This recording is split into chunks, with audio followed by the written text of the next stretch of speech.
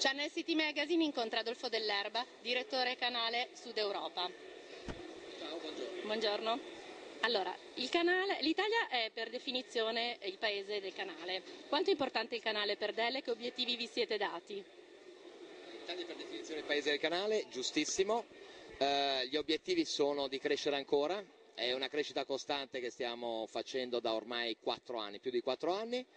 Eh, l'anno scorso abbiamo fatto una crescita doppia rispetto a quanto sia cresciuta la dell'Italia, siamo cresciuti oltre il 40% come, come canale, continuiamo in questa, in questa, ambizione di voler raggiungere delle, delle, quote importanti di mercato sul mercato dei, dei, dei partner.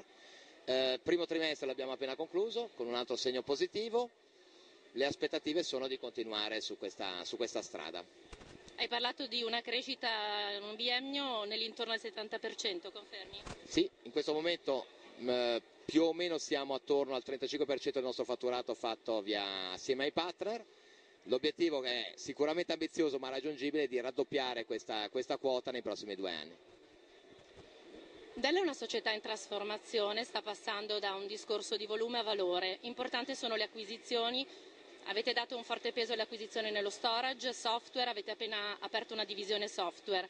Quanto le nuove acquisizioni portano cultura del canale?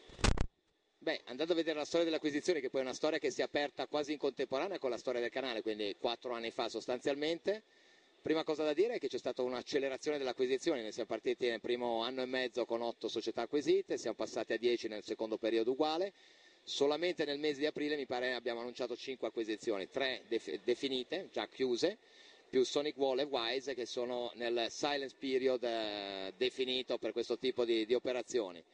Eh, la cosa interessante guardando le dimensioni delle società che andiamo ad acquisire è che la maggior parte di, di queste sono 100% canale, hanno come tipologia di go to market il canale per definizione.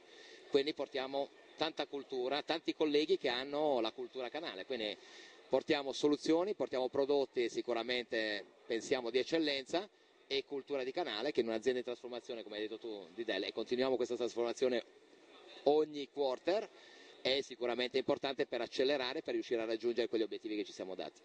L'operazione Sonic Wall verosimilmente in Italia L'operazione Sonic Wall dovrebbe concludersi diciamo, magari in queste ore, quindi siamo, siamo il 9 maggio, le aspettative sono che, che oggi, fra oggi e domani dovremo dare l'annuncio ufficiale.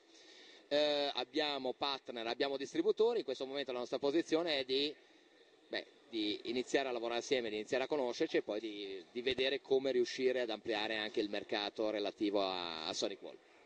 La struttura interna di supporto al canale come sta evolvendo?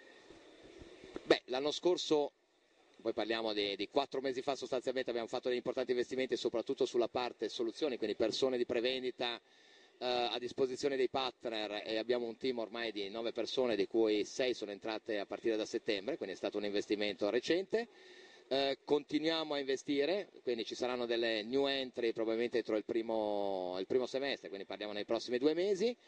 Uh, investiamo sul marketing ancora, insomma le, ci sono diverse posizioni da andare, da andare, a ricoprire, siamo in un periodo fortunatamente per noi in cui continuiamo a pensare di poter ampliare l'organico perché i risultati ci stanno accompagnando in questa, in questa avventura. Avete fatto una scelta di distribuzione locale, è ancora vincente questa scelta e come va la relazione con i distributori? Allora, deve essere vincente per forza perché è stata una scelta anche personale mia, quindi abbiamo iniziato a maggio del 2010 con i primi due distributori con Icos e Datamatic, proseguita a luglio dell'anno scorso con, con Sidin e diciamo, abbiamo completato la squadra a novembre con, eh, con Espenet. Eh, a seconda del tempo trascorso assieme ci sono risultati ovviamente diversi, però se dovessi dare una valutazione complessiva sono assolutamente soddisfatto di quanto stiamo facendo, tenendo sempre conto diverse, del diverso tipo di distributori, che poi è stato anche questo voluto, che abbiamo. Quindi più eh, coloro che più puntano sul valore e gli altri più sul volume, anche se poi queste distinzioni sono sempre meno evidenti, c'è sempre una, un'area eh, in cui tutti quanti si stanno spostando, i volumisti più sul valore e i valoristi che non rifiutano, soprattutto in momenti come questo, anche una, una parte quantomeno, se non magari minima, di, di volume. Qualche iniziativa per il canale a breve di cui vuoi parlarci? Beh, l'iniziativa più importante che abbiamo eh, parte da noi internamente, quindi una riorganizzazione interna che prevede di lasciare ancora più spazio in Italia e in Spagna. Sono due dei paesi di cui mi occupo, abbastanza simili. Eh, come tipologia di mercato, quindi lasciare molto più spazio ai partner, quindi eh, abbiamo un progetto di copertura congiunta con i partner di nostri clienti, quindi eh, portare i nostri partner presso i clienti già acquisiti da Dell. Eh, ci concentreremo come Dell, come persone Dell su una certa fascia di clienti, la fascia più alta sicuramente, ma anche questa concentrazione non significa la vendita diretta, significa la volontà di voler impostare noi la strategia e di capire quali partner ci possono dare valore. Su tutto il resto del mondo Dell, eh, canale, canale, canale per definizione. Ed ecco perché anche la distribuzione ci deve aiutare, soprattutto in momenti come questo in cui ci sono al- altri tipi di pressioni, soprattutto economiche e finanziarie, ed ecco perché continuiamo ad avere partner eh, che, che costantemente bussano alla nostra porta. Ultima domanda sul tuo ruolo, direttore canale Sud Europa, ecco, come va negli altri paesi?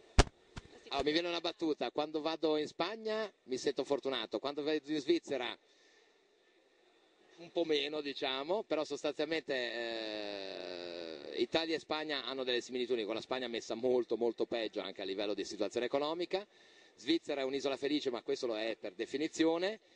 E sul Belgio e Lussemburgo abbiamo anche piccolo, questa piccola realtà, stiamo, stiamo, facendo numeri notevoli anche perché lì abbiamo dei clienti che si chiamano econom- eh, Comunità Economica Europea che anche loro vogliono essere seguiti per un discorso di prossimità e di capacità e così via da partner. Quindi per esempio lì abbiamo un cliente enorme che si chiama la Comunità Economica Europea che vuole i partner, quindi anche clienti di queste dimensioni hanno bisogno di.